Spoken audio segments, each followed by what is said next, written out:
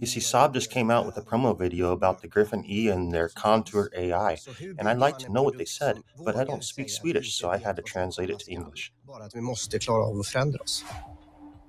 Och det är Gripen E. Det är världens första digitaliserade flygplan.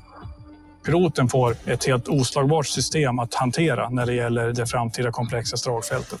What we have done so far is to move forward. Omer's development has been worrying for a long time now. It's hard to understand where the border between peace and war is. We have a mission to claim our territorial integrity. You have to make sure that you have the right skills and the right readiness here and now to face the threat that exists. So how do you build a product that dares to say that we don't know what to expect, but that we have to be able to change ourselves?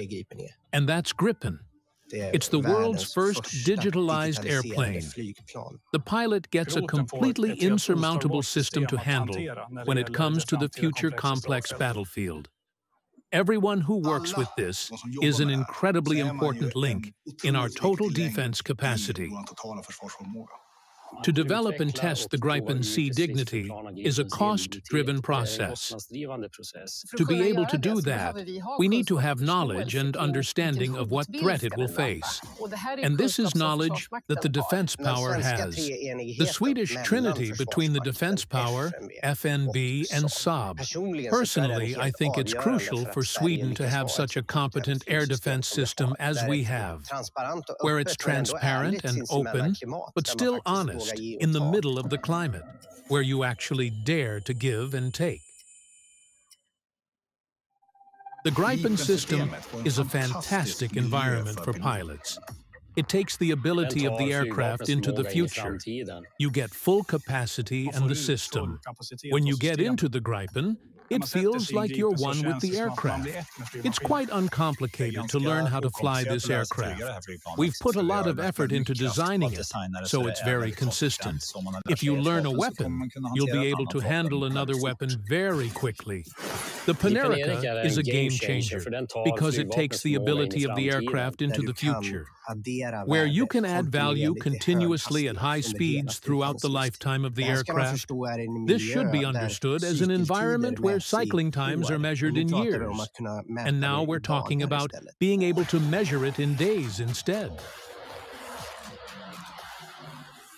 If you look forward to the future and where the flight development is going, I think you have to be a little humble and understand that it's very difficult to say. And that makes our opponents too.